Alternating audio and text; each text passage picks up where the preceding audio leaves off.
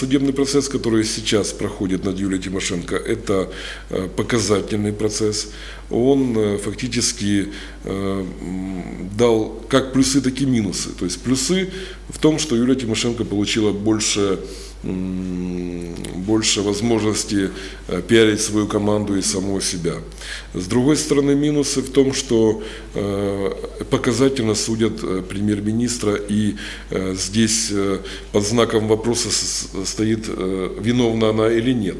И если будет приговор оправдательный, соответственно, Юлия Тимошенко будет ну, фактически э, лидером государства, э, оппозиционным лидером государства, которое э, даст ей возможность э, в, в 2015 году точно стать президентом Украины. Если будет приговор э, обвинительный и она получит срок, соответственно, в связи с этим э, будут подвергаться критике нынешнее правительство и, соответственно, э, президент Украины за то, что он, э, ну, с одной стороны, э, допустил, что Юлию Тимошенко привели к судебному процессу, и, соответственно, она осуждена. То есть я считаю, что плюсы и минусы эти, как знаете, Фемида ставить на чашу весов.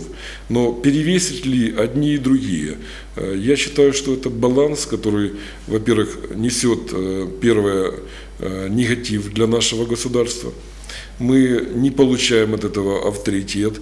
И в дальнейшем, я думаю, что нам нужно не допускать прежде всего таких моментов, когда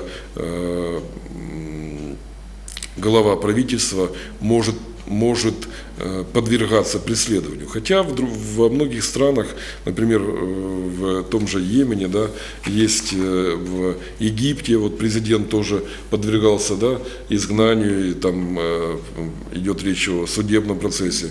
Много прецедентов, где во многих странах, даже тоже Сильвио Берлускони в Италии подвергался судебному процессу.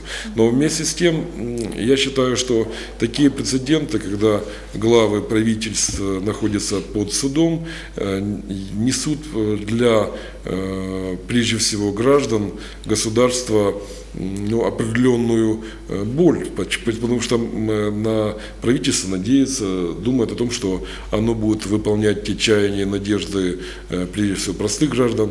И я вам скажу, э, есть очень хорошая цитата э, князя Воронцова, мы знаем, да, в Крыму Воронцовский дворец, и он в свое время сказал таким образом, что люди, которые имеют власть и имеют богатство, э, ну, прежде всего, они должны действовать так, чтобы люди смогли им это простить. Э, в нашем же государстве, наоборот, э, люди не прощают тем, кто имеет богатство, имеет власть. Почему? Потому что они ведут себя вызывающе. И, соответственно, в данном случае Юлия Тимошенко в определенной степени ведет себя вызывающе, вызывает огонь на себя, хотя и внимание, и вместе с тем э, ну, она, мы видим, как она вела себя на судебном процессе, то есть пререкание с председательствующим в судебном процессе, ну и так далее. То есть это, наоборот, показало отношение к самой судебной системе, не к одному конкретному человеку.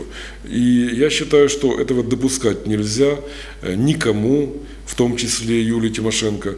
И в данном случае я думаю, что такие процессы у нас в дальнейшем не будут проходить.